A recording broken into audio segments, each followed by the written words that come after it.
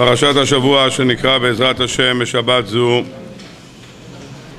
פרשת חוקת שנת תשע"ו עוסקת הפרשה בתחילתה במצוות פרה אדומה.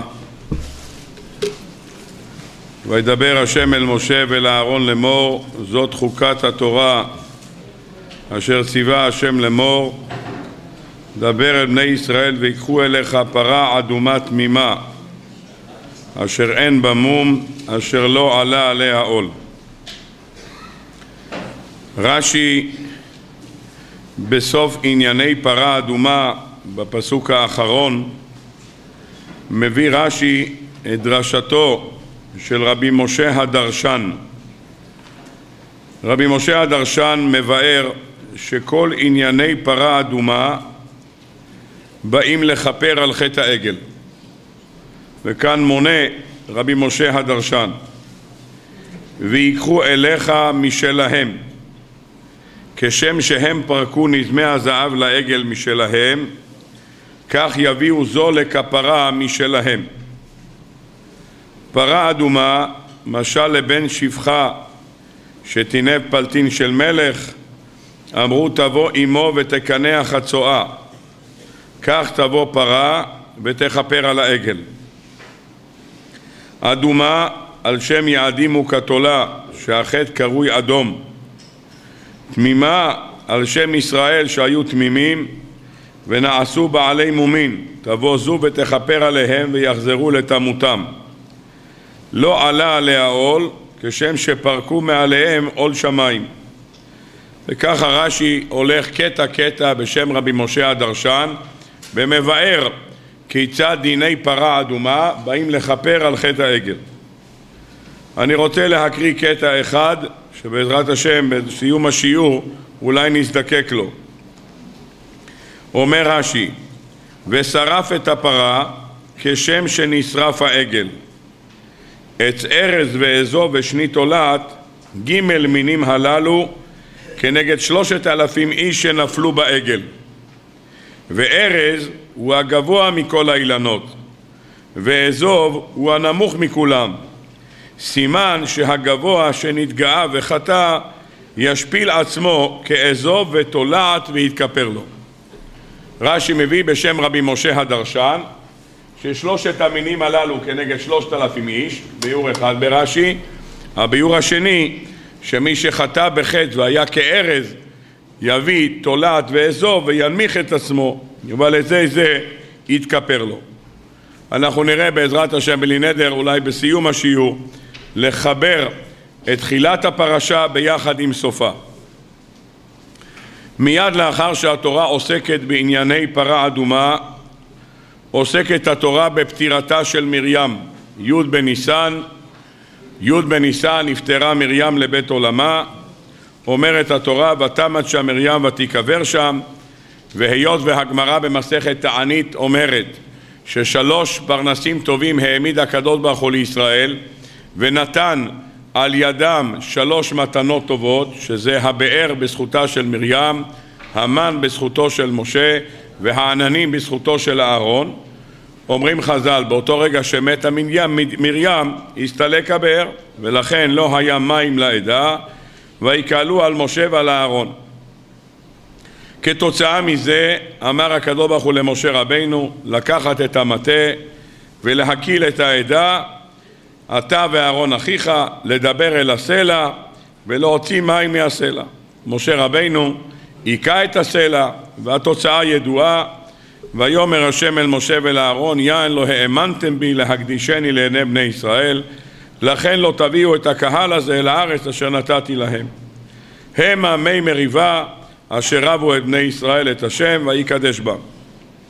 מיד אחרי שהיה הסיפור עם הבאר וישלח משה מלאכים מקדש אל מלך אדום הם מבקשים לעבור דרכו נעברה נא בארצך לא נעבור בשדה ובחרם אדום לא נותן לו לעבור ומשה רבינו מחשב מסלול מחדש ויית ישראל מעליו.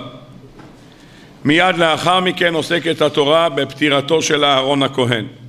פטירה שכידוע לכולם, פטירה שרק היו שם שניים, משה רבינו ואלעזר הכהן, וכבר דיברנו על זה, לא מצאתי לזה מענה, למה גם משה וגם אהרון לא זכו להלוויה.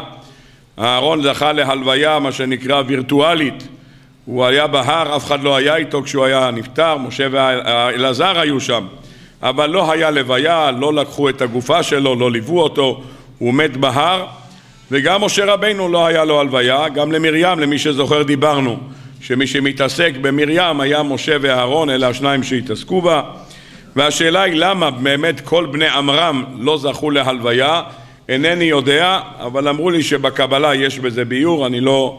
אין לי שיג ושיח בספרי הקבלה, אבל שם אמרו שיש ביאור בעניין הזה. מיד לאחר פטירת אהרון הסתלקו ענני הכבוד, הגיע מלך ערד, הוא עמלק, הוא בא להילחם עם ישראל דרך האתרים, וכידוע לכולם נלקח ממנה בשבי אחד, כמו שרש"י מביא כאן. וישמע השם בקול ישראל, ויתן את הכנעני, ויחרם אתם ואת עריהם, ויקרא השם המקום חורמה. לאחר מכן עם ישראל מדבר כנגד המן ודיברו על המן דברים לא טובים והקדוש ברוך הוא העניש אותם בנחשים ושרפים ובעצם כאן הגענו לסיומה של הפרשה. בסיומה של הפרשה עוסקת התורה בשני המלחמות האחרונות שניהל משה רבנו. מלחמה אחת כנגד סיחון, מלחמה שנערכה בחודש אלול והמלחמה הבאה זו מלחמת אוג שנערכה בחודש תשרי לאחר חג הסוכות. אלה הדברים שאומר המדרש רבה בפרשת השבוע. מלחמת סיחון הייתה בחודש אלול, מלחמת אוג מלך הבשן הייתה בתשרי לאחר חג הסוכות, לאחר הרגל כלשון המדרש. היינו רוצים היום לעמוד על שני המלחמות הללו וקצת להרחיב בהם בסייעתא דשמיא לפחות להתמקד בנקודה אחת מתוך כמה וכמה דברים שיש במלחמות האלה. דוד המלך בתהילים מזמור קל... מה?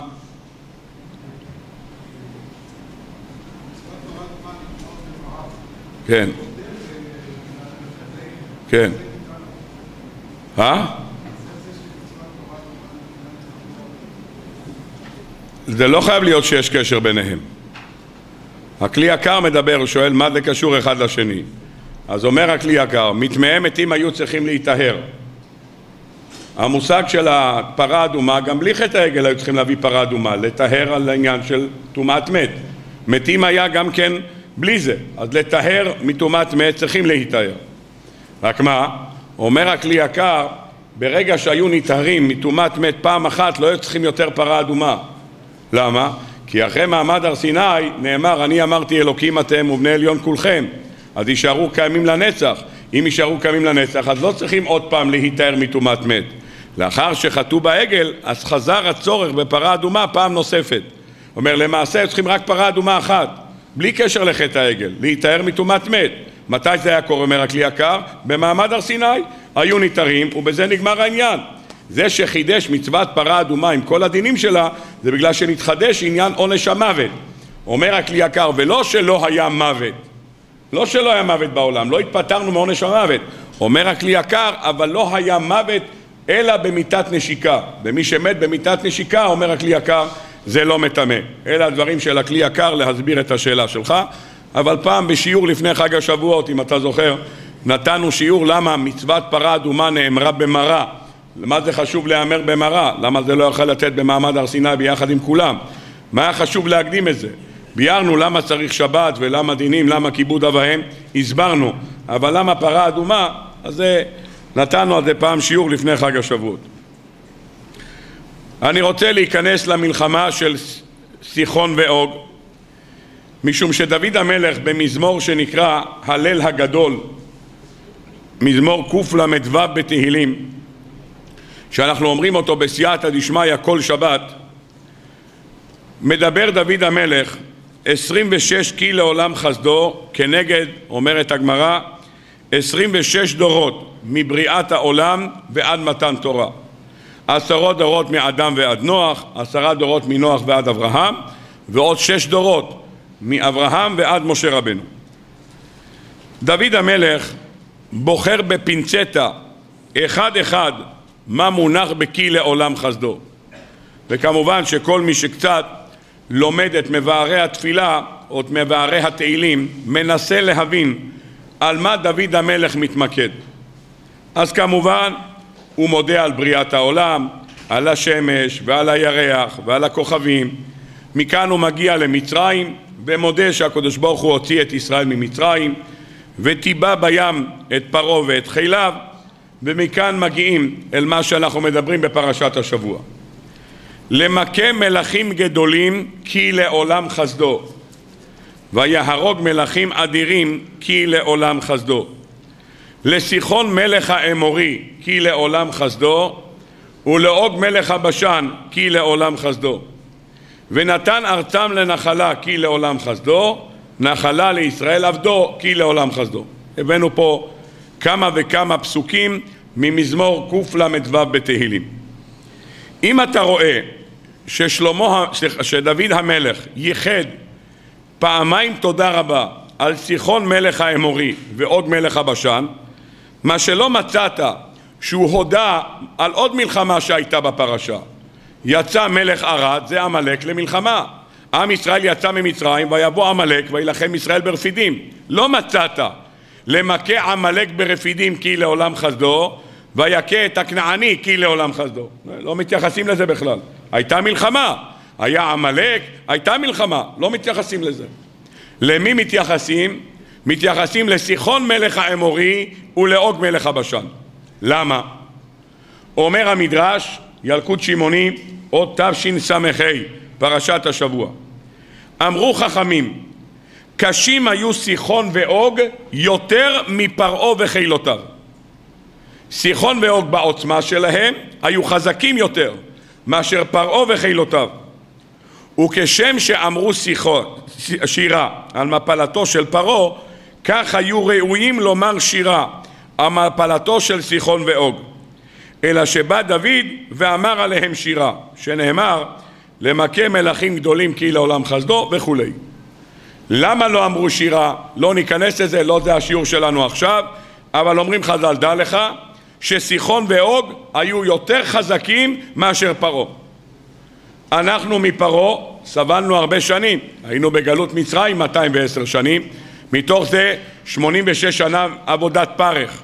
אומרים חז"ל אף אחד לא ברח ממצרים. חז"ל אומרים כמה היה קשה לברוח ממצרים. אבל על סיחון בתורה לכאורה אתה לא רואה את הכוחות העצומים של סיחון. אתה לא רואה את הכוחות העצומים של אוג. יוצא יצאו למלחמה והקדוש ברוך הוא נתן אותם בידם. את העוצמות שלהם אתה לא רואה. אז הייתי ברשותכם רוצה קצת לעסוק בעניינים הללו שקשורים למלחמת סיחון ואוג וללמוד כמה וכמה רעיונות נפלאים. אומרת התורה פרשת השבוע פרק כ"א פסוק כ"א וישלח ישראל מלאכים אל סיחון מלך האמורי לאמור אעברה בארצך לא ניטה בשדהו בכרם לא נשתה מי באר בדרך המלך נלך עד אשר נעבור גבולך אומר בעל הטורים הוא לא ביקש. בשונה מאדום שקודם כתוב אעברה נא כאן לא כתוב נא. אומר בעל הטורים לא כתוב נא הוא לא ביקש הוא רק מסר הודעה אומר אדוני אני עומד לעבור דרכך. הוא לא ביקש רשות הריני מויסר מוידוה אני עומד לעבור אצלך. ולכן אומרת התורה מיד יצא סיחון לקראתו ולא נתן סיחון את ישראל לעבור בגבולו ויאסוף סיחון את כל עמו ויצא לקראת ישראל המדברה ויבוא יהצה וילחם בישראל ויכהו ישראל לפי חרב וירש את ארצו מארנון עד יבוק עד בני עמון כי אז גבול בני עמון. אומר רש"י. אתה יודע מה העוצמה של סיחון? אומר רש"י. אילו הייתה חשבון מלאה יתושים אין כל בריאה יכולה לכובשה סיחון היה לה מערך הגנה מסביב למדינה עם ביצורים וחומות שגם מבפנים היו יתושים אי אפשר היה לעבור את הביצורים שהיה מסביב למקום שנקרא אה, חשבון למה? חימשו אותה מסביב, הקיפו אותה מסביב עם כל כך הרבה חומות וכל כך הרבה אה, הגנות שאי אפשר היה לחדור. אז זה לא משנה מי הגר בפנים. אומר רש"י, אם היה שם יתושים, אי אפשר היה להיכנס. ואם היה סיחון בכפר חלש, אין כל אדם יכול לכובשו, וכל שכן אם היה בחשבון. אומר, גם אם הוא היה גר במושב שמסביבו יש רק גדר תיל קטנה, למרות שזה גדר תיל קטנה, אף אחד לא היה יכול לחדור את הגדר תיל. כשאחד מרים מלמטה ועושה קפיצה, אי אפשר היה לחדור. למה? כי גר שם סיחון. ואף אחד לא יכול לכבוש את סיחון.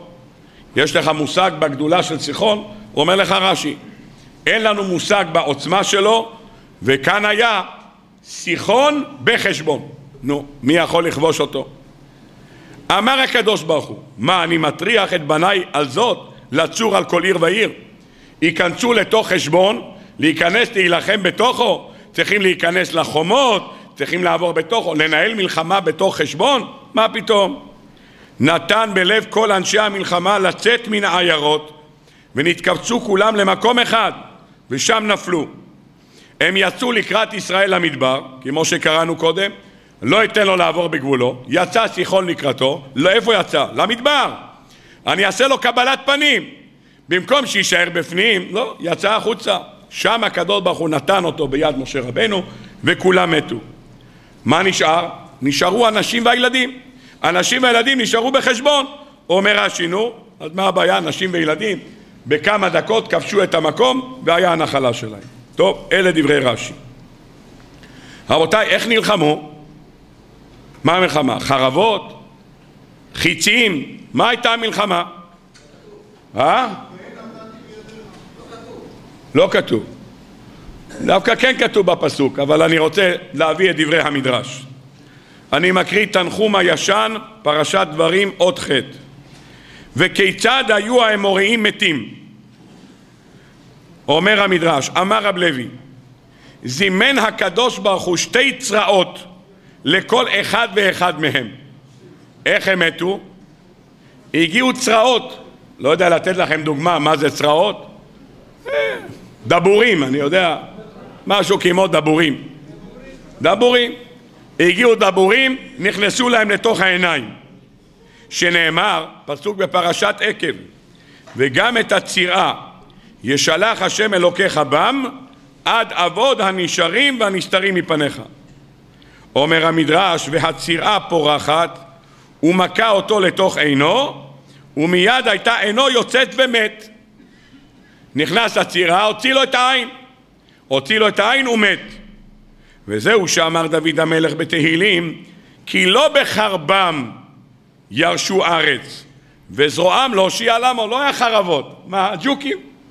הביא הקדוש ברוך הוא דבורים, הוציא להם את העיניים, וזהו. נו, איך מוציאים את העיניים מתים? לא מצאנו שמי שמוציא את העיניים שלו מתים. אז יכול להיות בשביל הפיניש השתמשו גם בחרבות, כן? אז יכול להיות, אבל למעשה בן אדם בלי עיניים לא יכול להילחם, אין לו שום סיכוי להילחם, הוציא לכל האמורים את העיניים, אז המלחמה הייתה קלה, אפילו הם החזיקו חרבות, אבל הם לא יכולים לעשות עם זה כלום. נו, עד כאן דברי חז"ל.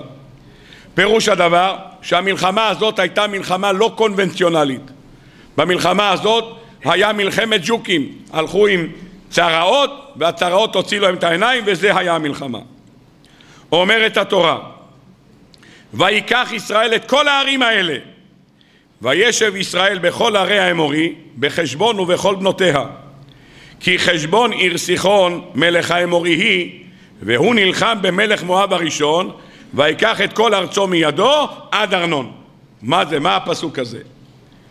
באה הגמרא במסכת חולין דף ס', מסכת בבא בתרא דף ע"ח, גיטין, אומרת הגמרא, הקדוש ברוך הוא אמר למשה רבינו שאסור לו להילחם לא עם עמון ולא עם מואב. אומרת התורה אל תצר את מואב ואל תתגר במלחמה כי לא אתן לך מארצו ירושה. נאמר אצל עמון וקרבת מול בני עמון אל תצורם ואל תתגר בם. אז אסור להילחם לא עם עמון ולא עם מואב. מה עושים? מה עשה הקדוש ברוך הוא?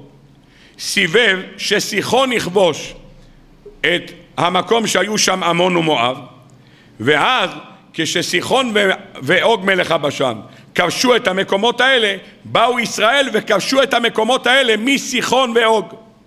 אומרים חז"ל, עמון ומואב טיהרו בסיחון. פירוש הדבר, שהיה אסור להם לכבוש את עמון ומואב. אסור. מה עשה הקדוש ברוך הוא? אמר לסיחון, בבקשה, תוציא אותה משם, תטפל, הוציא את עמון ומואב החוצה, ואז באו ישראל ולקחו את הנחלה שלקחו סיחון ואוג מעמון ומואב. אלה הדברים שהתורה אומרת לנו כאן. רבותיי, אני רוצה להיכנס להסבר של המזמור קל"ו בתהילים לפני שנמשיך. אומרת לנו דוד, אומר דוד המלך, ונתן ארצם לנחלה כי לעולם חסדו, נחלה לישראל עבדו כי לעולם חסדו. מה זה החלוקה? אומר הספר חזק ואמץ ליבך, דבר נפלא. למה הקדוש ברוך הוא הוציא את סיחון להילחם בחוץ? כי דרכם של אומות העולם, שהם יוצאים למלחמה, הם לא יודעים מה הולך להיות. הם צריכים תמיד להיות מוכנים שאם חס וחלילה כובשים אותם, האנשים שכובשים אותם לא ייקחו לנחלה את המקום שהם גרו. אז מה הם היו עושים? אומר המדרש בפרשת בשלח, אומר המדרש, שעם ישראל יצא ממצרים, כולם שמעו את זה. ים סוף נבקע, אז נבהלו אלופי אדום, אלי מואב יוחזי מורד, נמוגו קודש וכנען, תיפול עליהם אימתה ופחד. אומר המדרש תנחומה פרשת בשלח, כיוון ששמעו הכנענים שעם ישראל יצא ממצרים, מה המסלול? הולכים לארץ ישראל. מה המרחק מיציאת מצרים עד ארץ ישראל? אומרת התורה, מחורב עד ארץ ישראל זה 11 יום. 11 יום מחורב, דרך הר שעיר, עד קדש ברנע. 11 יום. הקדוש ברוך הוא רצה להביא אותם מהר, אמר בשלושה ימים אני מכניס אותם. זה מהר חורב. ממצרים זה עוד כמה ימים, בסדר? שבועיים, שלושה, ארבע שבועות, עם ישראל מגיע. אומר המדרש, מה עשו הכנענים? עמדו ושרפו את הזרעים, ועקרו את האילנות, וקצצו את הנטיות, וסתרו את הבניינים, וסתמו את המעיינות. הם יבואו לפה, כלום לא יהיה. אין מעיינות, אין מים, אין אילנות, אין כלום, אדמה חרוכה, כלום לא יהיה. נו, איך אפשר להיכנס לשם? איך אפשר להיכנס? הם חשבו שהם הולכים מפה. הם הולכים, אף אחד לא ייהנה מהווילה שלי. הפציצו את זה. נו. אמר הקדוש ברוך הוא, מה, אני אביא אותם למקום הזה? הבטחתי לאברהם אבינו, אומרת התורה, בספר דברים פרק ו', והיה כי ביאך השם אלוקיך אל הארץ, אשר נשבע לאבותיך לאברהם, ליצחק וליעקב, לתת לך ערים גדולות וטובות אשר לא בנית, ובתים מלאים כל טוב אשר לא מילאת, ובורות חצובים אשר לא חצבת, כרמים וזיתים אשר לא נתת. אומר הקדוש ברוך הוא, הבטחתי לך בתים טובים, אילנות, בתים מלאים כל טוב. נו, אם באים עם ישראל למלחמה, מה הם עושים? משחיתים את הכל? מה עשה הקדוש ברוך הוא? אמר לסיחון, אני לא אתן להם להילחם בתוכו. כי אם עם ישראל ייכנס למלחמה בסיחון, מה תהיה התוצאה? הם יהרסו את כל הבתים, המלחמה תלך בתוכו, יחרבו הרחובות. אמר הקדוש ברוך הוא, אתם תנהלו מלחמה במדבר. במדבר! אם המלחמה תהיה במדבר, מה תהיה התוצאה? הבתים יישארו שלמים, המעיינות שלמים, האילנות שלמים, אף אחד לא יעשה כלום. אומר דוד המלך, בוא נודה לקדוש ברוך הוא. על מה? ונתן ארצם לנחלה. הקדוש ברוך הוא סידר שהמלחמה הזאת תהיה בלי שום כדור. המלחמה תהיה בחוץ בכלל, לא במדינה עצמה. למה? כדי לשמר את המקום הזה שלם בלי שאף אחד שבר אותו. ולמה עשה את זה הקדוש ברוך הוא? הקדוש ברוך הוא עשה את זה למען המטרה. המטרה כדי לתת את זה נחלה לישראל עבדו. ולכן הוא אומר, ויתן להם ארצות גויים ועמל לאומים יירשו כי הקדוש ברוך הוא רצה שנירש את המקום כשהוא מסודר עם מעיינות, עם בתים, אז לכן הקדוש ברוך הוא עשה שהמלחמה תתנהל בחוץ. אלה הדברים הנפלאים שראיתי בספר שנקרא חזק ואמץ ליבך. בא בעל מחבר ספר מרכבת פרשס דרוכים לבעל המשנה למלך על הרמב"ם במאמר שנקרא דרך הקודש דרוש זין ושואל כמה וכמה שאלות מאוד יפות. ואני רוצה לפני שנתחיל בביאור העניין לבאר את הרעיון שלו. הוא שואל שאלה מאוד יפה כתוב בפסוק למכה מלכים גדולים כי לעולם חסדו ויהרוג מלכים אדירים כי לעולם חסדו. אחרי זה סיחון מלך האמורי כי לעולם חסדו, עוג מלך הבשן כי לעולם חסדו. מי זה המלכים הגדולים ומי זה המלכים האדירים? מי אלה? אה? סיחון ועוג. אז דוד המלך חוזר על סיחון ועוג פעמיים? למכה מלכים גדולים כי לעולם חסדו זה סיחון ויהרוג מלכים אדירים זה עוג ואחרי סיחון מלך האמורי ועוג מלך הבשן? ייתכן לומר שזה חוזר פעמיים? מה מה?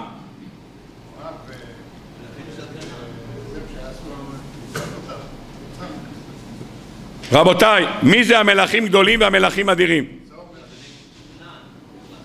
אומר רש"י, אומר רש"י, ל"א המלכים, 31 המלכים. זה 31 המלכים? תפתחו ספר יהושע. שואל אם ככה הספר פרשת דרוכים, אומר אני לא מבין. אם אליבא דרש"י שהמלכים הגדולים והאדירים זה 31 המלכים, אז זה לא הסדר הנכון. איך זה להיות כתוב? לזיכרון מלך האמורי כי לעולם חסדו, לעוג מלך הבשן כי לעולם חסדו, ואחרי זה מלכים גדולים ואדירים. למה? כי קודם כל היה מלחמת סיחון ועוג, ואחרי זה מלחמת 31 המלכים. איך אתה אומר תודה רבה על המלכים והאדירים עוד לפני שכבשת אותם? שאלה ששואל הספר פרשת דרוכים. שאלה נוספת, הוא שואל, למה כתוב פעמיים ונתן ארצם לנחלה כי לעולם חסדו, נחלה לישראל עבדו. זה אותו דבר. תכתוב נחלה לישראל עבדו, כי לעולם חסדו. שתי שאלות נפלאות של הספר פרשת זוכרים. והוא מסביר את הדברים באופן נפלא על פי מה שאמרנו.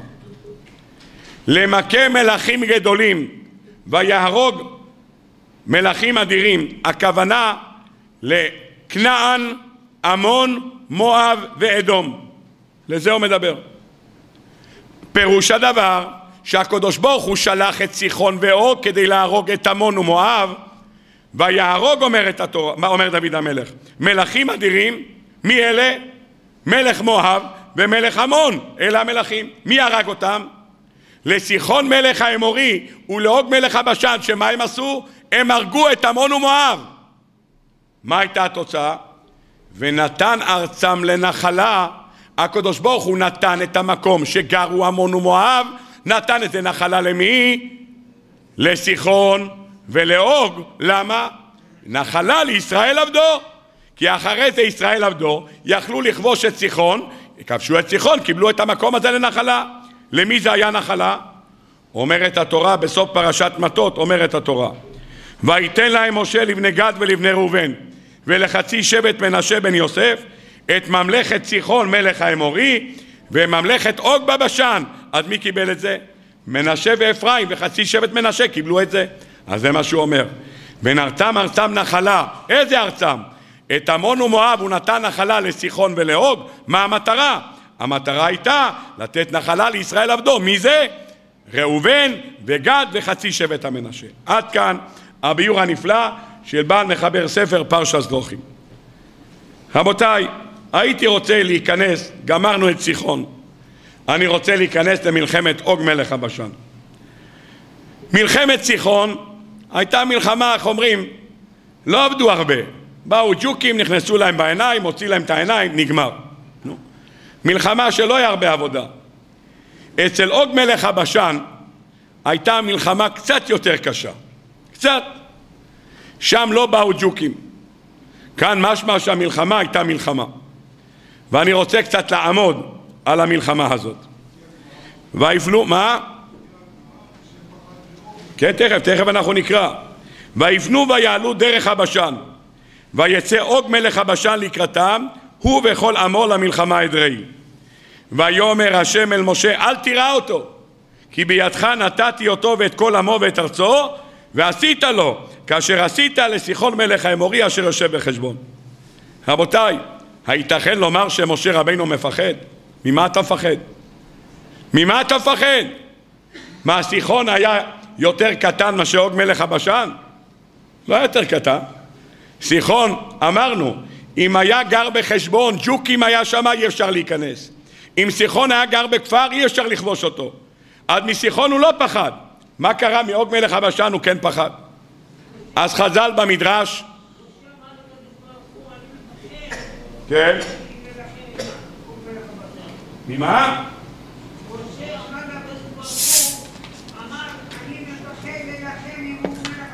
למה?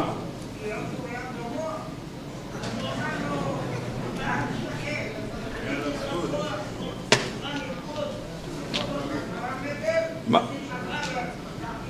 הבנתי. אתה יודע מה הגובה שלו? אה? 90 מטר? 30 מטר? איך הגעת? לא. אה? כגובה הארזים. כמה זה הגובה של הארזים? לא. אז רבותיי, תכף אנחנו נראה. סיחון לא היה פחות גבוה ממנו. הם היו אחים. אמנם לא מאותו אימא, אבל מאותו אבא. חז"ל מביאים את הגובה של סיחון, אומרים חז"ל שלא היה בניין שהיה יותר גבוה ממנו. נו, אני לא יודע מה היה הגובה של בניינים שהיה אז, לא היה להם שם, אני יודע, את, אה, את שם מגדלים במנהטן. נו, לא יודע מה היה הגובה של הבניינים. אה? המיטה של אוג אנחנו יודעים. רבותיי, אני רוצה לשאול אתכם שאלה. אם הייתם שואלים אותי אתמול לא הייתי יודע. היום בבוקר בסייעתא דשמיא לקחתי ילקוט שמעוני, חיפשתי משהו. בילקוט שמעוני, שואל ילקוט שמעוני, כמה אכל אוג ביום? אה? שמעתם פעם שאלה? כמה אכל אוג ביום? אז מישהו אמר לי שבילקוט שמעוני, לא בילקוט שמעוני, בילקוט מעם לועס כתוב לא ראיתי בפנים, כך אמר לי מישהו מקודם, שהוא היה צול... לוקח דגים ומחמם אותם על השמש. שם אותם ככה, כי הוא היה קרוב לשמש, היה מחמם אותם. לא ראיתי בפנים, אני אומר לכם על פי שמוע. מה שראיתי בעיניים שלי, כמה מאכלו של אוג ביום. נותימו הערכה. אה רבותיי? אין פה עבדי עתיקנית, אה? כמה? שתי טון? על פי איזה חשבון עשית את זה? אה?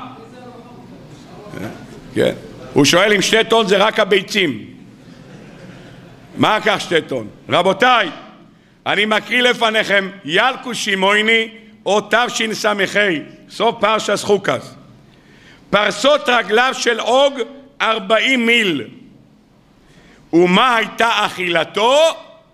אלף שברים ביום. או, כמה, מי אמר פה שתי טון? שתי טון היה רק הליפתן. אלף שברים ביום. אני לא יודע כמה שוקל שור. כמה שוקל שור? אה? חצי טון, בן פורת יוסף. חצי טון שור אחד. נו, בן פורת יוסף, עשר שברים. כמה? חמש טון. נו, עשרים שברים, עשר טון. איפה אתה מגיע? אלף ביום בן פורת יוסף. נו, לא פחד מכולסטרול? נו, רבותיי, זה היה מאכלו של עוג מלך הבשן ביום. נו, מה אתה מפחד ממנו? מסיחון הוא לא מפחד, ממנו הוא מפחד. נאמר אל תירא. מה? מרוחניות. טוב, אתה אומר שהוא לא מפחד מגשמיות. תכף נראה, מה?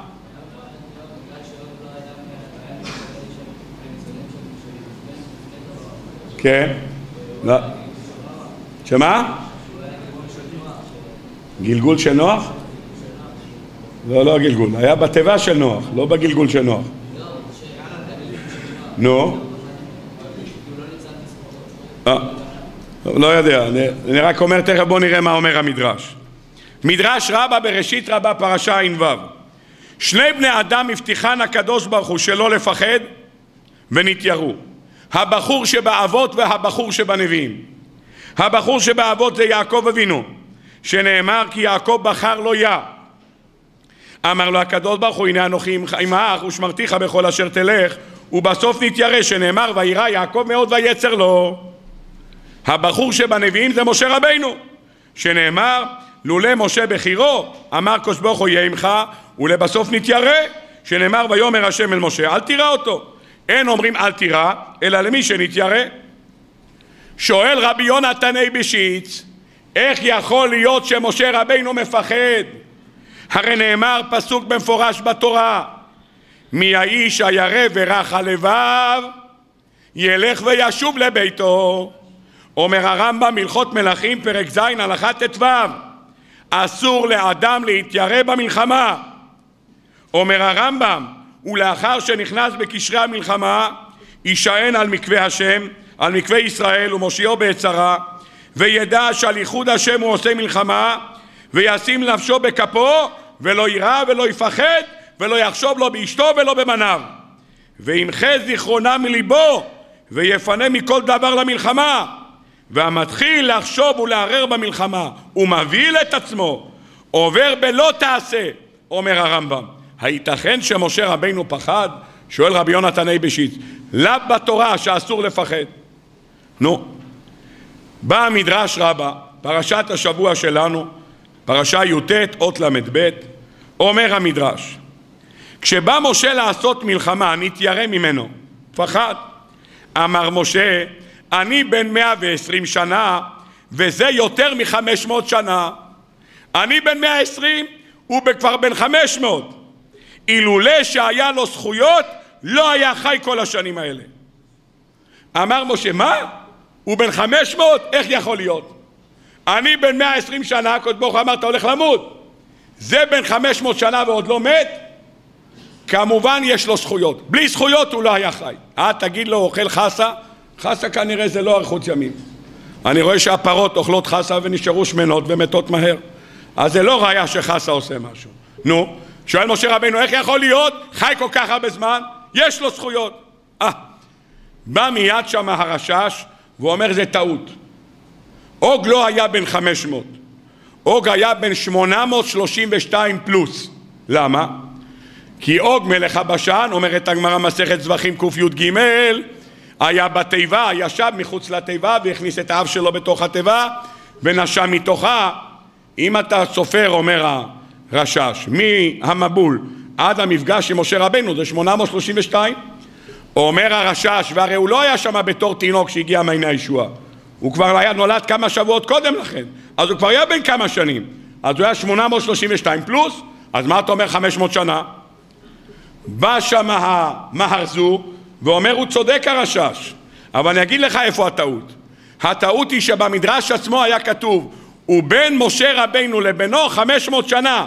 הוא אומר לא היה כתוב חמש מאות במדרש היה כתוב חטא מאות שנים. חטא מאות שנים זה שמונה מאות. אבל מה עשה הבוכר הזצר? הוא ראה כתוב חטא, אמר מה חטא? אף אחד לא יבין מה זה חטא נתקן את זה, כנראה הוא קיבל על כל עוד שקל אז הוא הוסיף שזה עוד מ' וש' ואמר יופי נהיה חמש אבל מה שהיה כתוב במדרש היה כתוב חטא עד לשמונה מאות שנה רבותיי אח שלו קוראים לו סיחון סיחון זה אח שלו בן כמה היה סיחון? מה? למה? שהיה בן שבע מאות שנה?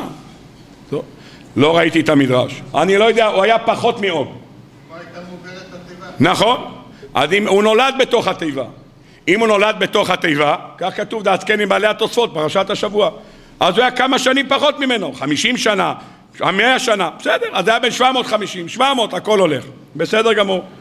רבותיי, ממה הוא פחד? הוא אמר הוא זקן, אם לא היה לו זכויות הוא לא היה חי, בסדר גמור. בא המדרש, אותו דבר, פרשה י"ט, אות ל"ב, ממה פחד?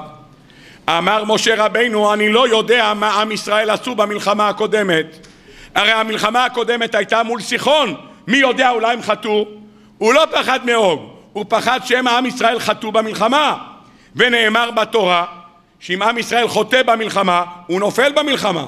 לכן במלחמת מדיין אומרים חז"ל על פסוק בשיר השירים אומרים חז"ל שינייך כעדר הרכילים שעלו מן הרחצה שכולה מתאימות ושכולה אין בהם אומרים חז"ל שיצאו למלחמת מדיין ואף אחד לא חטא ושכולה אין בהם פירוש הדבר אמר משה רבינו המלחמה הקודמת הייתה באלול. מי יודע אם חטאו? אמר לו הקדוש ברוך הוא כולם יצאו מהמלחמה הזאת אף אחד לא חטא הכל בסדר גמור אל תירא אותו. עד כאן דברי המדרש בפרשת השבוע. רבותיי בפרקי דרבי אליעזר בפרק ט"ז כתוב שאוג מלך הבשן הזה הוא בכלל אליעזר עבד אברהם. לא פחות ולא יותר. אומרים חז"ל, פרקי דרבי אליעזר, פרק ט"ז. בשעה שנמרוד זרק את אברהם אבינו לכבשן האש, זרק אותו לכבשן האש, יצא החוצה בשלום, כל מי שהיה שם נתן לו מתנות. אומר המדרש, ואף נמרוד שזרק אותו לתוך כבשן האש נתן לו מתנה.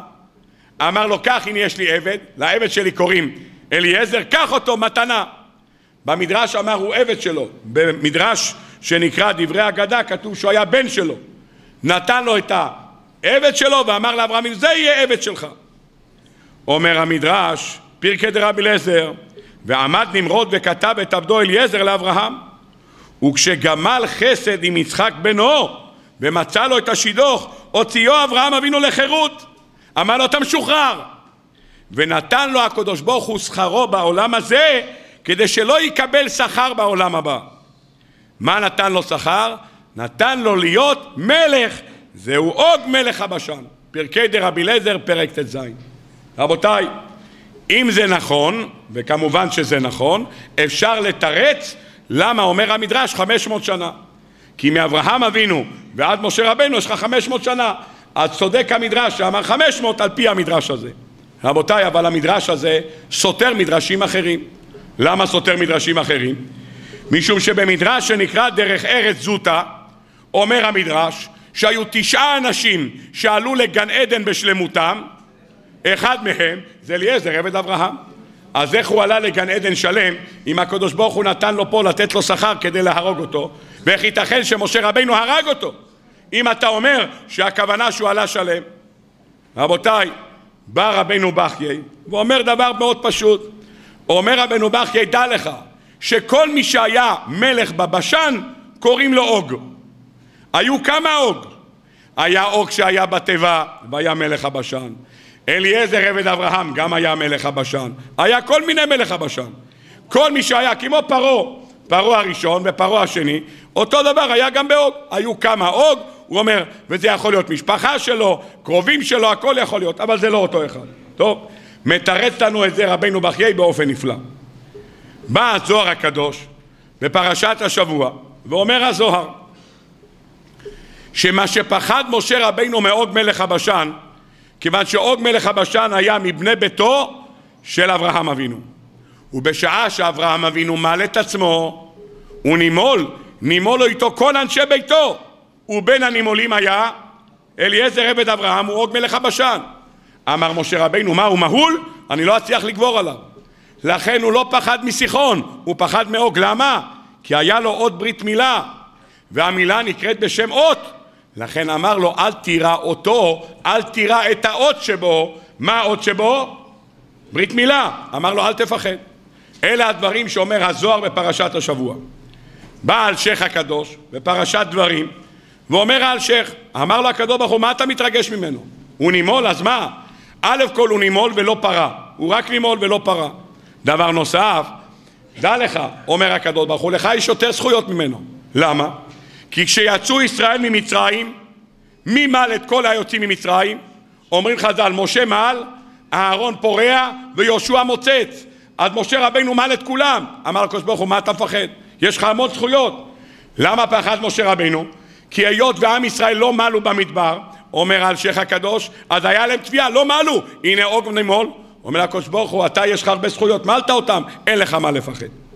אלה הדברים שאומר האלשיך הקדוש, דברים שכתוב בזוהר. מצאתי דבר מאוד יפה בבני איסוסחור בפרשס ראה. זה לא הבני איסוסחור, זה אגרא דקאלה, אבל הספר, בעל המחבר ספר, זה בעל הבני איסוסחור הידוע. אני רוצה להקדים הקדמה לדבריו, לפשט אותו, לפני שניכנס לגוף העניין. אומר האגרא דקאלה, אם בן אדם מרגיש פתאום פחד פתאום מרגיש פחד. תדע לך שהקדוש ברוך הוא רוצה לקרב אותך אליו. אם אדם פתאום מרגיש פחד, לא עליכם ולא על אף יהודי, פתאום בן אדם מרגיש לא טוב, לא טוב, הוא נכנס ללחץ. אתם יודעים, מיד מישהו כואב לו הבטן, מה הוא? מיד הוא פוחד, כבר קונה צוואה, מתחיל לצוואה, מתחיל לקנות חלקה, כולם בלחץ היום. יש לו בונקלה הכי קטן, הוא קם בבוקר, מרגיש שזה בונקלה, אומר זהו, נגמר. מי יודע איזה צמחים צומחים לי פה כבר, היום כולם בלחץ. נו. לחץ. מה קורה כשבן אדם נכנס ללחץ? ומיד השחרית שלו אחרת, המנחה אחרת, הערבית אחרת, ברוך השם. למה? אתה מתפלל. כשאתה לא בלחץ, אז השחרית, איך אומרים? זורם. אבל אם ברוך השם אתה בלחץ, אז המנחה מנחה. מתחילה מהקורבנות, מתחיל מפתח אליהו, נגמר אחרי עלינו, עוד אומרים פרק משניות, ונשארים לתהילים. נו, ברוך השם, מה קרה? ברוך השם, אני יודע, יש לי קצת לחץ, אני יודע.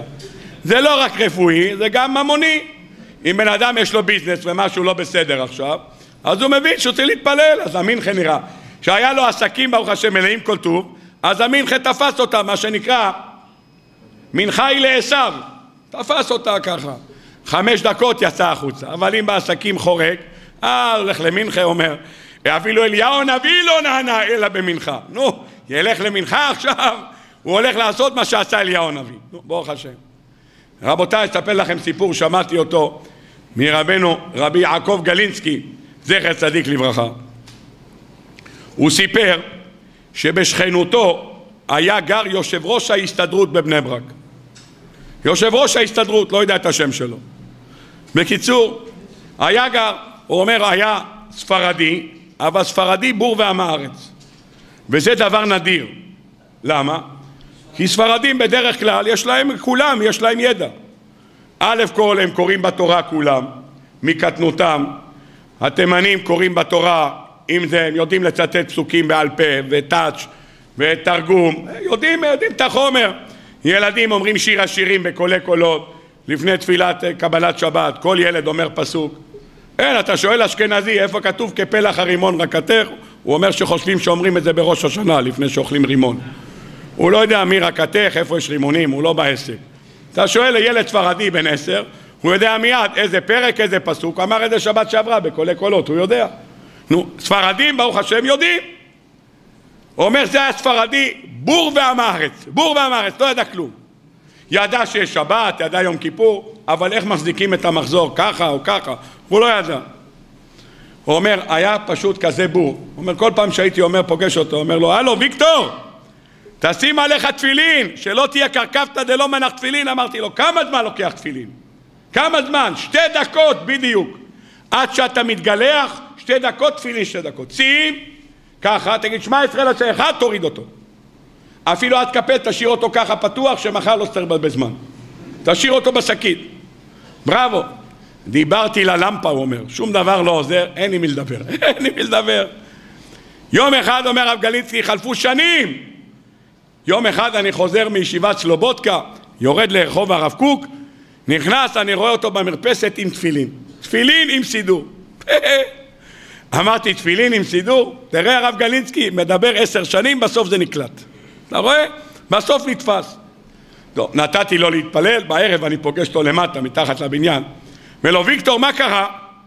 ראיתי אותך עם תפילין, זה אתה או אח שלך? אומר לו, זה אני. מה זה?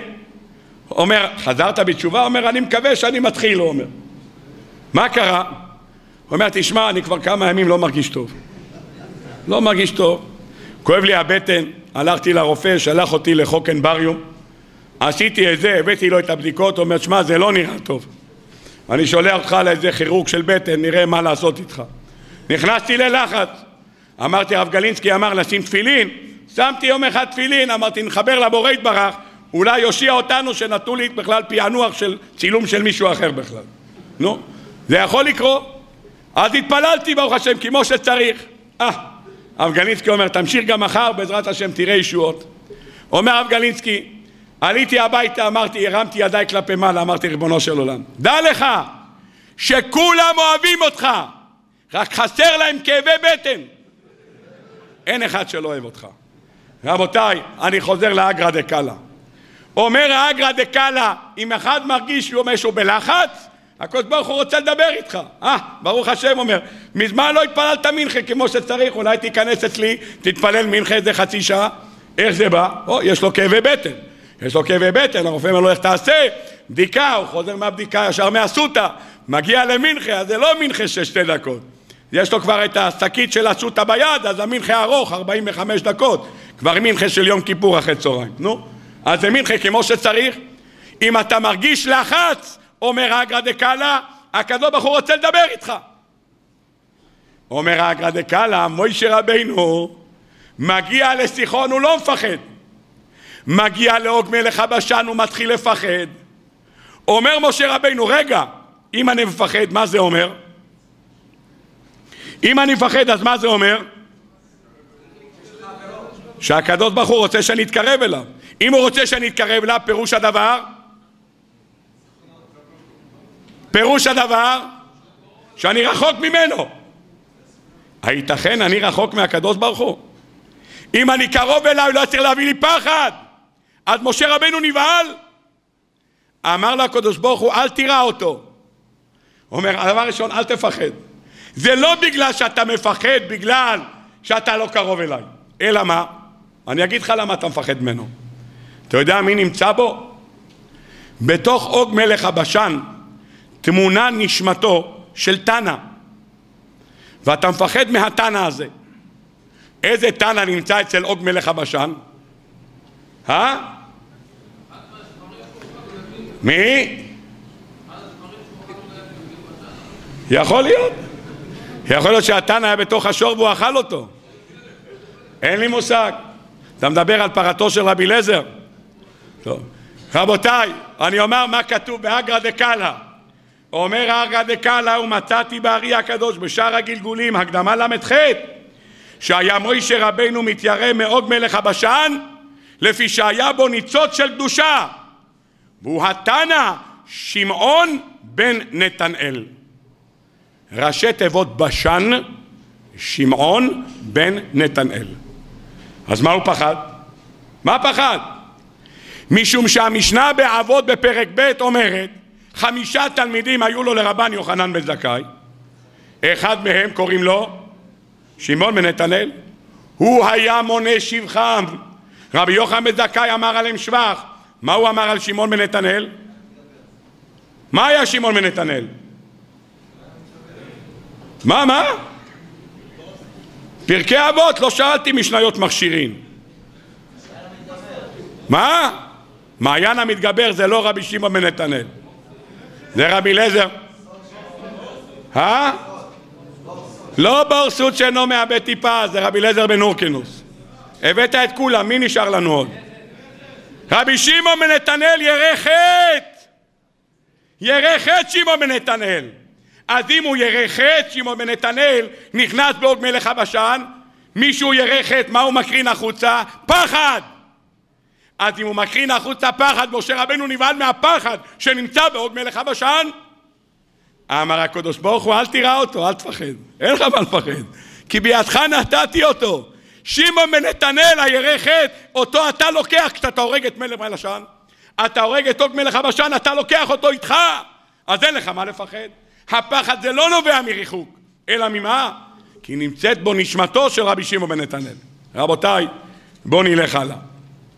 באה הגמרא, מסכת נידה, דף ס"א. אומרת הגמרא, כתוב בפסוק אל תירא אותו, שואלת הגמרא, ממה הוא מפחד? מכדי סיחון ואוג, אחי הבו. סיחון ואוג היו אחים. דאמר מר, סיחון ואוג בני אחיה בר שם חזאי אבו. האבא של סיחון ואוג קראו לו אחיה. הסבא שלהם קראו לו שם חזאי. מי זה שם חזאי? אלה היו שני מלאכים שירדו ואמרו לקדוש ברוך הוא שהם ירדו ולא יחטאו, קראנו אותם בפרשת שלח קראנו אותם, הם היו מן הנפילים, אומר רש"י שם חזאי ועזאל. השם חזאי הזה נולד לו בן קוראים לו אחיה ואחיה התחתן עם אישה והאישה הזאת נולד לה עוג מלך הבשן והוא היה בתיבה, תקוע בתיבה מחוץ לתיבה עם שנורקל פנימה. כך אומרת הגמרא, סבכים קי"ג, נו ברוך השם. איפה הגיע הסיחון? סיחון היה אח שלו, איך הוא נכנס לתוך התיבה? אומר הדס זקנים מבעלי התוספות, אחיה היה נשוי עם אשתו של חם. ובשעה שגירש אותה היא כבר הייתה מעוברת. וחם בנוח התחתן איתה. התחתן איתה והכניס אותה לתיבה. ומהנישואים האלה? ברוך השם אחרי שלה לתיבה ילדה בתוך התיבה את סיחון אז הם היו אחים הסיחון נולד בתוך התיבה, ואוג אח שלו היה מחוץ לתיבה, כנראה אחרי שנולד, עשה לו שלום מחוץ לתיבה, והשגיח עליו מבחוץ. בכל אופן, זה מה שכתוב בגמרא, עם דעת זקנים מבעלי התוספות. רבותיי, סיחון ואוג היה אחים, שואלת הגמרא, אז מה אתה מפחד מסיחון, מאוג, ואתה לא מפחד מסיחון? אומרת הגמרא, אומר רבי יוחנן רבי שמעון בר יוחאי, מתשובתו של אותו צדיק אתה יודע מה היה בליבו. אמר, שמא תעמוד לו זכותו של אברהם אבינו, שנאמר, ויבוא הפליט ויגד לאברהם העברי. אמר רבי יוחנן, זה אוג שפלט מדור המבול. עד כאן רבותיי, דברי הגמרא. כל אחד שקורא את זה, שואל את עצמו שאלה, שאלה מתבקשת. רבותיי, איך אפשר להבין את זה? ממה אתה מפחד? כי אוג מלך הבשן בא להגיד לאברהם אבינו שלא תלקח בשבי. אה, בראבו. אומרת הגמרא, דע לך שכל מה שאוג מלך הבשן בא להגיד לאברהם אבינו זה לא בגלל שהוא רצה שלא תישאר. מה הייתה המטרה? אמר, אומר, אומר המדרש, אמר אברהם זה קוניון, הוא קנאי ונוקם. ועכשיו אני אומר לו נשבע בן אחיך, הוא יוצא למלחמה, ומה יהיו כשיצא למלחמה? הוא ייהרג. אני נוטל את שרה אשתו ומתחתן איתה. אה, ברוך השם. אומר לו הקדוש ברוך הוא, שכר פסיעותיך אתה נוטל, שאתה מאריך ימים בעולם הזה, ועל שחשבת להרוג את הצדיק, חייך, שאתה רואה אלף אלפים וריבי רבבות מבני בניו, ואין סופו של אותו האיש ליפול, אלא בידם, שנאמר ויאמר אליי, אל תירא אותו כי בידך נתתי אותו. אה, אמר הקדוש ברוך הוא, מה? יש כאן חצי חצי. על המעשה הטוב שעשית, תקבל אריכות ימים בן פורת יוסף. תחיה עד גיל 900 שנה, 850 שנה. אבל על מה שרצית שהוא ימות, אני אראה לך מבני בניו, אתה תראה אותם באים ממצרים, חמש מיליון איש. אתה תראה אותם, ומי יהרוג אותך? משה רבינו. אה, עד כאן דברי המדרש עצמו. רבותיי, אני רוצה לשאול שאלה ששואל הדעת זקנים מבעלי התוספות, ואותו דבר שואל גם החזקוני, שניהם שואלים אותה שאלה. רבותיי, על מה נותנים לו שכר? על מה נותנים לו שכר? הרי כל מה שהוא רצה לעשות, רצה להרוג את אברהם אבינו. אז מה אתה נותן לו שכר? מה מה? ולכן מה? אז מה? אז על הזכות שמה? שהמעשה שיצא ממנו, התוצאה הסופית מה הייתה? שיצא, הציל את לוט, ומלוט יצא עמון ומואב, ומהמואב יצא רות המואביה, וממואב דוד המלך, אז זה מגיע לו שכר. אתה חושב שבלעדיו לוט לא היה משתחרר? הקדוש ברוך הוא אין לו דרכים להציל את לוט? גלגל את הזכות. אז עכשיו אני רוצה לשאול את כבודו שאלה, ששואל החזקוני וזה הזקנים בעלי התוצאות. אדם שחשב לעשות מעשה רע ויצא לו מעשה טוב בסוף, מקבל על זה שכר או עונש? למה כבודו? שאלתי עכשיו סיפור, הוג מלך הבשן. עשה מעשה רע, הוא בא רצה לחסל את אברהם אבינו, בסוף יצא מזה טוב, מקבל על זה שכר או עונש? אה? לא מקבל עונש? גוי אחד תופס יהודי, רוצה להטביע אותו פה בים משרתון. מכניס, אומר אף אחד לא רואה, היהודי עושה ככה ככה, דופק לו את הראש בתוכו, היהודי עושה בלה בלה בלה בלה, הולך לצאת החוצה, הולך להיחנק. הולך להיחנק, מגיע לו שכר עונש? אה? רצה להרוג אותו, לא הצליח, מגיע שכר עונש? עונש. אבל היהודי כשעשה גלו גלו גלו, מצא למטה אוצר יצא החוצה, אומר תודה רבה לך ערבי, אם לא היית עושה גלוגלו, הוצאתי החוצה, שבע מיליון דולר. תודה רבה לך שעשית לי ככה. מגיע לו שכר או עונש? אה? שואל את זה החזקוני ודעת זקנים מבעלי התוספות. מה הם אומרים? רבותיי, הולכים אחרי מחשבה, הולכים אחרי מעשה.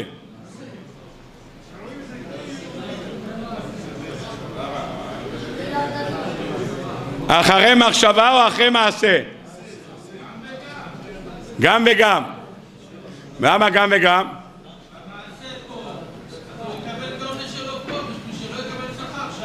כן, אז מה יקבל? את השכר יקבל פה. כן. אז מה אתה אומר? גם שכר וגם עונש. אתה יכול להביא לי ראייה? הוג, ההוג זה הפרשה, אני מדבר חוץ מהוג.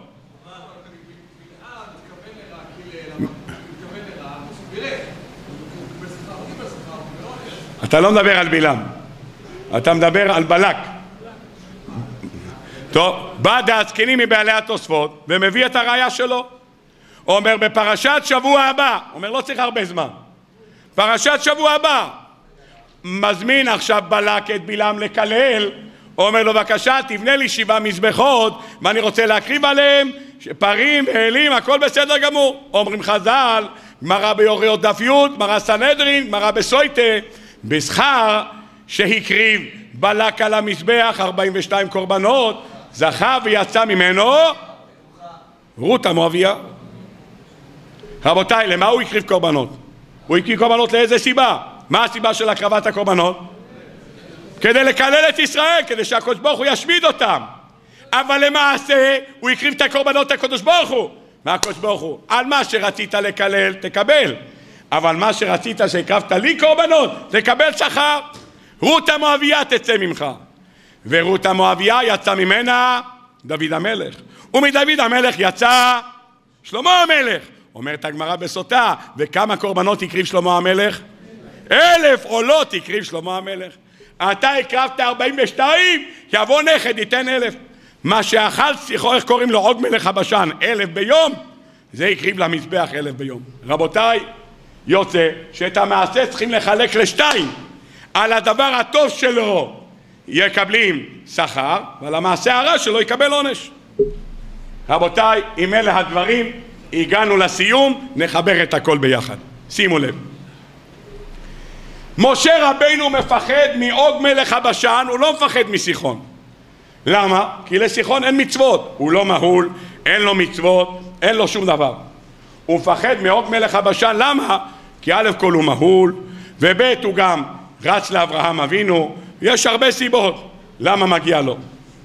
רבותיי, סיחון, הגיעו ג'וקים, הוציאו לו את העיניים. נכון? בת צירה הוציאה לו את העיניים. עוג מלך הבשן לא באו ג'וקים. מי בא? רבותיי, עוג מלך הבשן, אומרת הגמרא, מסכת ברכות דף נ"ד עמוד א', הרואה אבן שביקש עוג מלך הבשן לזרוק על ישראל, צריך להודות ולשבח את הקדוש ברוך הוא. ברור שעשה נס לאבותינו במקום, במקום הזה. לא זוכר. ברוך אתה אדינו אלוהינו מלך העולם שהכל נהיה בדברו. רבותיי, אומרת הגמרא במסכת ברכות דף נ"ד עמוד ב' עוג מלך הבשן רואה את עם ישראל מגיע רואה את עם ישראל מגיע, מה הוא עושה? אומרת הגמרא הוא בדק את מחנה ישראל כמה הם, אמר הגודל שלהם תלת הפרסה תלת הפרסה זה 12 מילים 12 מיל, 12 קילומטר בן פורת יוסף. אומרת הגמרא, עקר טורה, הלך היה שם הר בגודל של שלוש פרסאות, 12 קילומטר, עקר אותו והרים על הראש, בן פורת יוסף. אוכל אלף שברים ביום הפציינט הזה, יכול להרים הרים כאלה. מרים את ההר, מרים את ההר. נו, מה הוא מחכה? הוא מחכה שעם ישראל יגיע, מה עושה? יופ! זורק את זה עליהם, טראח מוריד את זה עליהם, אין עם ישראל, נגמר הסיפור. מה עשה הקדוש ברוך הוא? הייתי עלי קמצא ונקבוע, הביא ג'וקים. אה, הפעם ג'וקים לא בעיניים, עכשיו הג'וקים בתוך ההר. בא הג'וקים, אכלו למעלה את ההר, נמלים, והנמלים ירד לו זיפזיפ בתוך העיניים. ירד לו זיפזיפ, הוא מחזיק את ההר ויורד לו מתוכו. נו, הוא ניסה לנער את ההר, שיפסיק לרדת לו אבק. עשה? טראח אומרת הגמרא, ירד לו ההר על הראש שלו. ירד ההר על הראש, הוא ניסה להרים כדי לראות איפה ישראל. מה, יזרוק את זה פתאום לאבו דאבי? צריך לראות איפה הם. ניסה להרים, אומרת הגמרא, לא הצליח. למה? יצאו לו השיניים שלו. שיניים יצא לה החוצה, לא יודע אם הטוחנות או האלה של הבמבה, אני לא יודע. יצאו השיניים החוצה, נתקעו בתוך ההר, והוא לא הצליח לשחרר אותה, שנאמר, שיני רשעים שיברת, אל תקריא שיברת, אלא שרבבת. בראבו.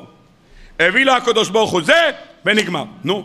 עומד בן אדם, עוד מלך הבשן, אמרו, הגובה שלו כמו מגדלי עזריאלי, עם הר על הראש, ומחכה ככה. נו, מחכה, לא ימינה, לא שמאלה. מגיע מוישה רבינו, רואה את עוג מלך הבשן בלי לראות את הפרצוף שלו, כי הוא מכוסה עם ההר, השיניים תקועות בתוכו. אומרת הגמרא, מוישה רבינו הלך לקח גרזן. גרזן עשר מטר, עשר אמות, שש מטר גרזן. בן פורת יוסף, איפה יש כאלה גרזנים?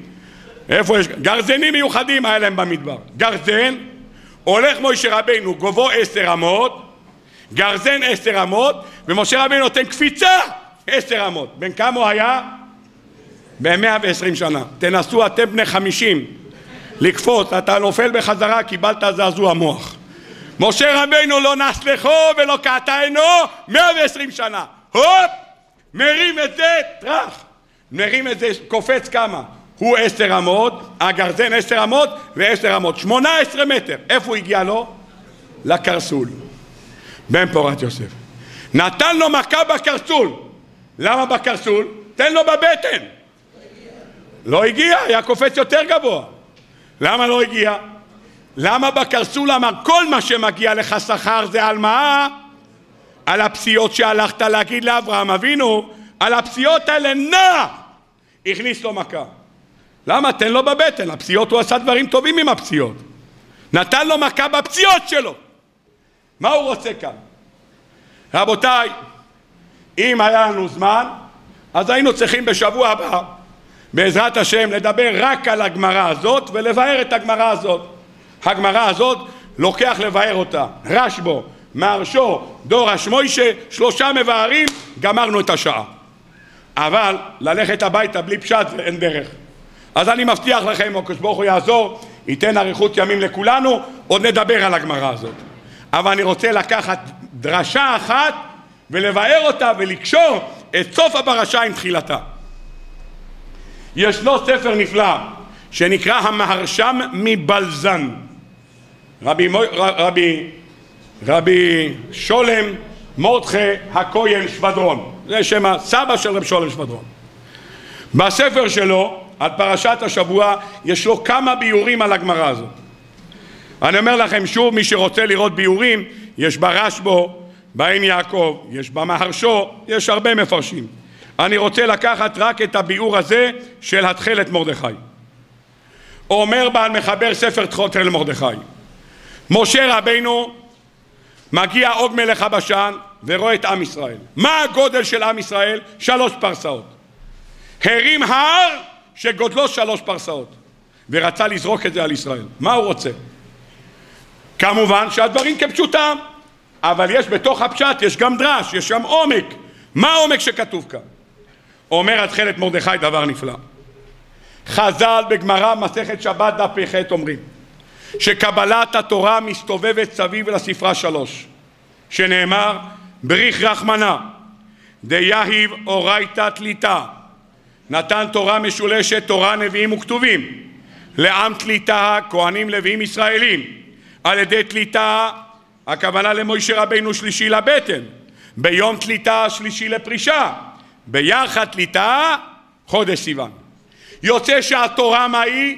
הכל מסובב עם שלוש בראבו ראה עוג מלך הבשן שמה? שעם ישראל יש להם שלוש פרסאות פירוש הדבר שהם מוקפים הכל אצלהם מסובב מסביב לספרה שלוש אבל אמר עוג מלך הבשן אני ארים הר כדי לעקור את הזכויות שלהם איך עוקרים עם ההר את הזכויות? אומר המהרשע מבלזן, דבר נפלא. ההר הזה מסמל את מה שהגמרא שם, שתי שורות אחר כך אומרת. ויתייצבו בתחתית ההר, אומרת הגמרא, מלמד שכפה עליהם הקדוש ברוך הוא הר כגיגית ואמר להם מקבלים את התורה מוטב ואם לא שם תהיה קבורתכם אמר עוג מלך הבשן ריבונו של עולם אני לא מבין מה אתה כל כך מתרגש מהם למה איירחת ליטאי, עם תליטאי, בחודש ליטאי, די תליטאי, שלוש, שלוש, שלוש. למעשה, אומר לו עוג מלך הבשן, הם לא רצו לקבל את התורה. הם אמרו נעשה ונשמע על מה? על תורה שבכתב. הגיעו לתורה שבעל פה, עכשיו הם לא רצו. לקחת הר וכפית עליהם. אמר לו עוג מלך הבשן, ריבונו של עולם, בוא אני רוצה להגיד לך מה שאומרים אומות העולם. אם היית כופה עלינו הר כגיגית, גם אנחנו מקבלים את התורה. הם לא קיבלו את התורה. התורה שבכתב אמרו לך כן. התורה שבעל פה תצטרך להרים הר. ריבונו של עולם, אם היית מרים עלינו הר, גם אנחנו היינו זוכים בזה. עד כאן הספר תכלת מרדכי. אומר הספר תכלת מרדכי דבר נפלא ביותר. מה הוא רצה? מה הוא רצה? אני לא הבאתי את המדרש, הוא לא מביא את המדרש הזה, אבל הוא מתכוון ודאי למדרש הזה. המדרש בסוף פרשת, סוף פרשת כי תישא כמדומני, שמות רבה פרשה מ"ב, שואלים חז"ל, כמה זמן אחרי מעמד הר סיני היו ישראל עם הקדוש ברוך הוא? אחד אומר 11 יום, אחד אומר 30 יום, מדרש שלם. אחד אומר, עוד בעודם במעמד הר סיני, אמרו נעשה ונשמע, והראש שלהם איפה נמצא? בחטא העגל. הם אומרים נעשה ונשמע, אבל הראש שלהם איפה נמצא? בחטא העגל. בא עוג מלך הבשן, הוא אומר ריבונו שלם, אני לא מבין, מה הבעיה שלי? מה הבעיה שלי? אתה אומר שאני הלכתי פסיעות בשביל מה? בשביל לבשר לאברהם אבינו. אני למעשה, מה קרה? ניצל מזה דוד המלך. אבל מה אתה אומר? אבל מה הייתה המחשבה שלך? מה הייתה המחשבה שלך? שאברהם ייהרג ותיקח את שרה. אז ריבונו שלם תגיד לי, הולכים אחרי מחשבה או הולכים אחרי דיבור? תגיד לי אתה. הולכים אחרי מחשבה או אחרי דיבור? מה התשובה? הולכים אחרי דיבור. הראיה שעם ישראל אמר נעשה ונשמע. איפה היה הראש שלהם? בחטא העגל. יוצא שהראש שלהם בעגל והם אומרים נעשה ונשמע. אז אחרי מה אתה הולך? אחרי הדיבור. אני אמרתי לאברהם אבינו, תדע לך, לוט נלקח בשבי. מה היה אצלי במחשבה? להרוג את אברהם, לקחת את שרה. אז תחליט, אחרי מי אתה הולך? אחרי מחשבה או אחרי דיבור? בא כאן עוג מלך הבשן והשתמש בכפיית הר כגיגית להורות לקדוש ברוך הוא, הנה, הם בעצם לא רצו. למה קיבלתם כאילו את התורה? כי כפית עליהם. אם היית אומר את זה לאומות העולם, הם גם היו מקבלים. אלא מה? אומר עוג מלך הבשן, תזכור שעם ישראל אמר נעשה ונשמע, אבל הראש שלהם היה בעגל. אם ככה רבותיי, מסביר באופן נפלא את תכלת מרדכי. אומרת הגמרא, אתי קמצי, הגיעו נמלים ואכלו את ההר. מה זה קמצי? כולם אומרים נמלים, אכלו את ההר. למה נמלים? אז המפרשים אומרים, זה כוח הפה. נמשלו כנסת ישראל לתולעת, מה תולעת אין כוחה אלא בפה, אף ישראל אין כוחם אלא בפה. אומר הספר תכלת מרדכי, אמר הקדוש ברוך הוא לעוג מלך הבשן, דע לך, זה שבחרתי בעם ישראל זה לא רק בגלל נעשה ונשמע, אלא בגלל הענווה שבהם, שנאמר לא מרובכם מכל העמים חשק השם בכם ויבחר בכם כי אתם המעט מכל העמים. אז למה הוא בחר בכם? אומרת הגמרא בחולין פט אומר הקדוש ברוך הוא חושקני בכם אפילו בשעה שאני משפיע עליכם גדולה אתם ממעטים את עצמכם. נתתי גדולה לאברהם אבינו אמר אנוכי עפר ואפר. נתתי גדולה למשה ואהרון אמר ונחנו מה. נתתי גדולה לדוד מה אמר? ואנוכי תולעת יוצא שדוד המלך היה כתולעת. חשבתי לומר על פי הדברים האלה, רבותיי, את מי עוג מלך הבשן הציל? הציל את לוט, שמלוט יצא רות, ומרות יצא דוד. מה אומר דוד? ואנוכי תולעת. אתי קמצי, שלח הקדוש ברוך הוא תולעים שיורידו עליו את ההר. מה אתה טוען?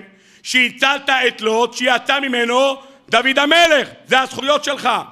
מביא הקדוש ברוך הוא את ואנוכי תולעת את דוד המלך שיאכל את ההר הזה, יאכל את התולעת את ההר והר ייפול לו על הראש. מה המטרה של זה? פשוט מאוד. רבותיי, נוכל להבין בסייעתא דשמיא.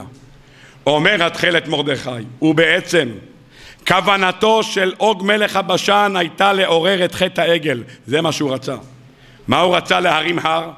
הגמרא אומרת שהר נקרא עבודה זרה, שנאמר על ההרים ארמים ותחת כל עץ רענן, אומרת הגמרא במסכת סנהדרין, הר הכוונה לעבודה זרה. הרים הר! למה הר? לעורר את העניין של חטא העגל. ההר הזה בתלת הפרסי. מה זה תלת הפרסי? יש להם שלוש דברים היה בחטא העגל. מה היה? ויקומו לצחק. מה זה ויקומו לצחק? עבודה זרה, גילוי עריות, שפיכות דמים. הרים את ההר עבודה זרה ואמר ריבונו של עולם, באלה אתה בוחר? באלה אתה בוחר שעשו את העגל? באלה אתה בוחר? אז מה עושים? רצה לזרוק את זה עליהם, ריבונו של עולם, עובדי עבודה זרה, גילוי עריות, שפיכות דמים, מה אתה בוחר בהם? מה עשה הקדוש ברוך הוא? הביא תולעת, שתולעים שאכלו את ההר. אומר המהרשע מבלזן, איך נפתחת פרשת השבוע שעוסקת באוג מלך הבשן? בפרשת פרה אדומה אומרת התורה צריכים לקחת עץ ארז ואזוב ושני תולעת. למה שלושה דברים? אומר רש"י בשם רבי משה הדרשן שאם אהבה וחטא כארז יביא תולעת ואזוב וינמיך את עצמו. אומר לו הקדוש ברוך הוא, נתתי להם כפרה על חטא העגל. מה הכפרה על חטא העגל? נתתי להם עץ ארז ואזוב ושני תולעת. אומר רבי משה הדרשן, בזה שהם מנמיכים את עצמם, זה הכפרה על חטא העגל. יוצא שפרשת פרה אדומה, שמתחילה את הפרשה, מסתיימת עם עוג מלך הבשן, והכל מחובר ביחידה אחת. ברוך השם בסייעתא דשמיא עברנו היום את ראש חודש תמוז, יחדש עלינו הקדוש ברוך הוא את החודש הזה לטובה ולברכה, ויהי רצון שהחודש הזה יהפוך לנו לששון ולשמחה במהרה בימינו אמן ואמן.